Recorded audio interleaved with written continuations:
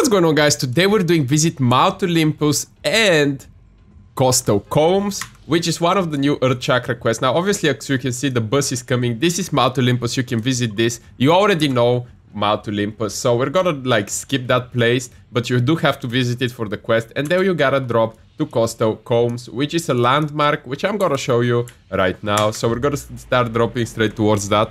Um, but yeah, you would have to drop at Mount Olympus as well, at least once, in order to complete this quest, or just go through it. And this is the first location. The one we're going to, as you can see, is in the end of the map. So obviously, it's gonna take quite a while. Uh, but anyways, you can combine this with land on a shrine, because we have this shrine over here. So we're just gonna like casually land over here, and then head to the location. Which I'm gonna show you on the minimap in a second here as well. Uh, anyways, we're just gonna get the scrolls. Dude, weapons there. Okay, okay. And yeah, we're gonna just drop straight down. And the location we're going to is gonna be like this small place over here. This is Coastal Columns. And uh, it's a landmark, so it's not gonna show on the map. And uh, I, I don't know, the quest is not live, so I don't know if it's gonna have like the markers on. So I decided to do a video on this anyways.